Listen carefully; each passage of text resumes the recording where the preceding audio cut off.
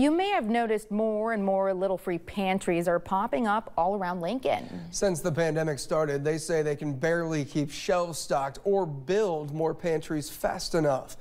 1011 Now's Mackenzie Huck joins us with more. Since the first Little Free Pantry showed up in Lincoln around Christmas time, a dozen more have been created, and each one is getting refilled multiple times a day to keep up with the need.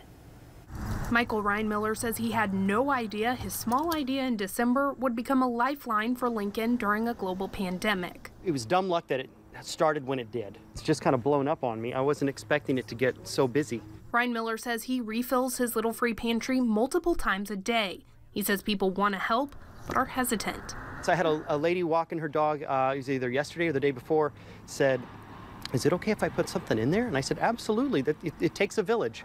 Joe Thomas sees the need firsthand near 22nd and Y Streets. I try to bring something at least once a week.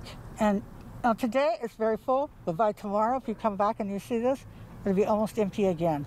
Trying to help fill the need is Reinmiller's father-in-law, Jim Fault who has built eight of Lincoln's 13 little free pantries. One was it. That was all there was.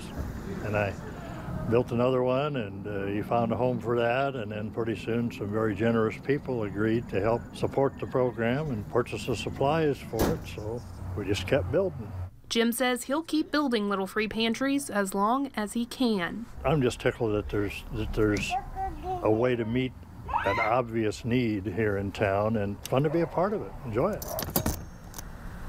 Another Little Free Pantry is going up near 23rd and Y Streets on Tuesday. For a list of where these pantries are and what kind of items you can donate, just head to this story on our website and on our 1011 Now app.